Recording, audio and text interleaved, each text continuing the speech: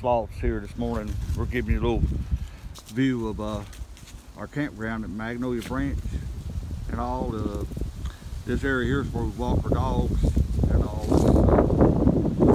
Out to the left there, it's, it's where the uh, creek or stream, as you call it.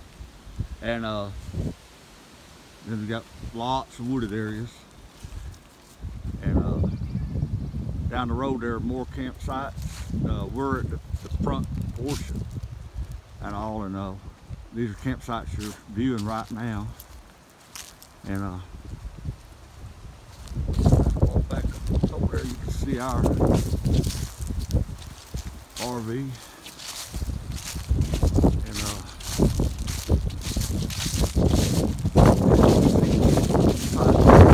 pretty wide area campsites. Uh, campsite we chose is, one of the largest.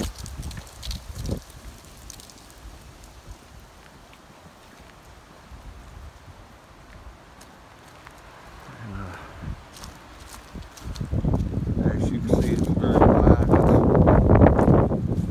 fairly level.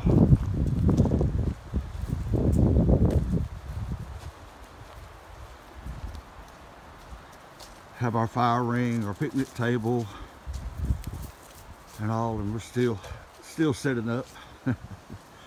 and all my wife's cooking breakfast, and I'm about to go enjoy.